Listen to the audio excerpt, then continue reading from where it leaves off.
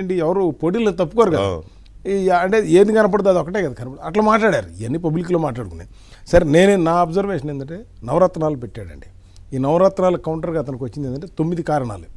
ఇందులో మీరు ఏదైనా ఉంటే రాంగ్ అవ్వచ్చు మీరు చెప్పండి. నెంబర్ వన్ మద్యపానం చేస్తానని చెప్పి రెండు వేల పంతొమ్మిదిలో బాగా నమ్మించాడు మహిళలు.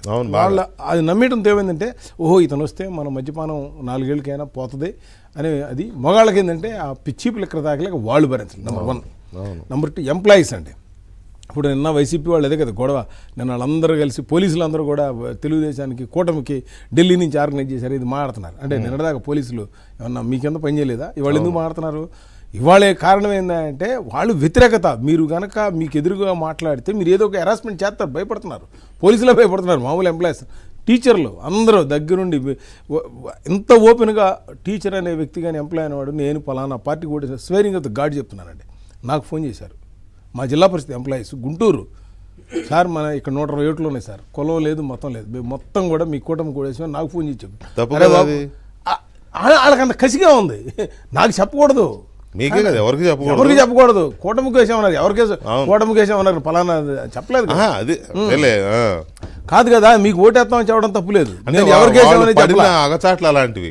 అంటే నేను ఎందుకు చెప్తున్నానంటే నేను జిల్లా పరిషత్ చైర్మన్గా చేసినప్పుడు వాళ్ళకి నాకు నేను అక్కడ ఉన్న గవర్నమెంట్ ఎమ్మెల్యే ఎమ్మెల్యేనా ఎంపీనా కానీ వాళ్ళు ఇప్పుడు ఫోన్ చేసి అంత చెప్పాలని అవసరం లేదే.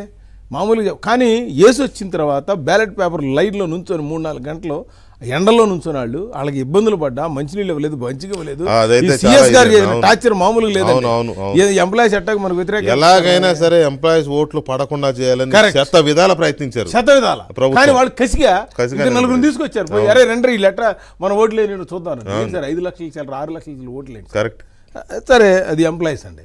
తర్వాత వచ్చేదలికి ఆయనకి విధేయులైనటువంటి ఇప్పుడు రావణాసురుడు చావుకి ఎవరు కారణం? ఉడత. ఆంజనేయ స్వామి విభీషణుడు మెయిన్. కానీ అందరికన్నా విభీషణుడు ఇస్ మెయిన్ ఇంపార్టెంట్. సొంత బ్రదరు. చనిపోయే ముందు రాముడు వెళ్ళి అడుగుతాడు ఏమని? లక్ష్మణుడు చనిపోతున్నాడు అతని దగ్గరికి వెళ్ళి రాజనీతి నేర్చుకురమ్మాయి హే అతని దగ్గరే ఉంది. నువ్వు బెలవాడు చాలా ఇంటెలిజెంట్ నాకంటే తెలియదు వెళ్ళి కరు అప్పుడు వెళ్ళి అడిగితే? లక్ష్మణ్. రావణాసురుని కనుక్కోమంటాడు వెళ్ళి మాట్లాడరా అంటాడు. వెళ్తే నువ్వు ఓడిపోవడానికి మీ అన్న గెలవడానికి నేను ఓడిపోవడానికి కారణం తెలుసా? నేను నా తమ్ముడు నా దగ్గర ఉంచుకోలేకపోయాను. ఆ తమ్ముడు రాముడికి అండగా ఉన్నావు అందుకే మీ అన్న గెలిచాడు. ఎప్పుడు సొంత వాళ్ళని వదులుకోకూడదు. దానికి ఉదాహరణ ఏంటంటే కాదు. కాదు కాదు. కరెక్ట్. నేనేదో కల్పించింది కాదు అది.